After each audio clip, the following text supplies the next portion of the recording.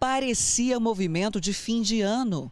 A Avenida Contorno, que é aquela ali abaixo da 44, lotou na manhã dessa quinta-feira. Tinha gente vendendo e gente comprando, mas tudo disfarçado. Os lojistas ficaram na porta das galerias e os ambulantes nas calçadas com as sacolas. Mas o comércio na região não foi autorizado a voltar no último decreto do Estado, do dia 19 de abril. Só é permitida a venda no modo delivery. Já tem mais de 40 dias que as lojas estão fechadas e a Lutiele diz que não pode mais ficar parada. A gente tem loja que tem vários funcionários que depende da gente, entendeu? Eu tenho uma funcionária, o pai dela foi demitido, ou seja, ela está dependendo da gente. Como que eu vou pagar o salário dela se eu não estou trabalhando? Este comerciante veio do Tocantins para comprar mercadoria. Ele faz isso de 15 em 15 dias. Agora não está conseguindo mais. Não está conseguindo comprar, porque nem por internet você compra, as pessoas vão entregar está, estão tomando a mercadoria das pessoas, sacola na mão, eles estão tomando. E aí a gente fica no prejuízo ainda mais ainda. Sabe aquelas vozes que gritam na 44 anunciando os produtos? O Cláudio é dono de uma delas. Agora ele está fazendo a propaganda baixinho e o amigo entregando as mercadorias.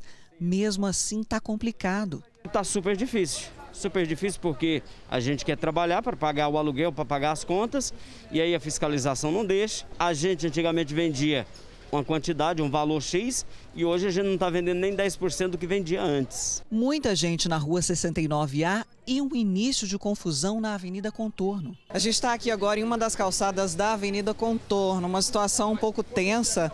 O pessoal da prefeitura, a fiscalização, os fiscais de postura chegaram e estão pedindo para que a galeria pare de funcionar.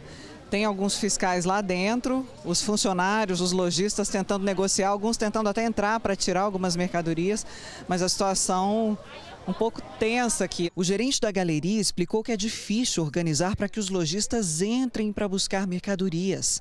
É muita gente. Desde quando a 44 está interditada, eles vêm trabalhando dessa forma, retiram seu vem de manhã, retira a sua mercadoria, faz as suas entregas fora do empreendimento.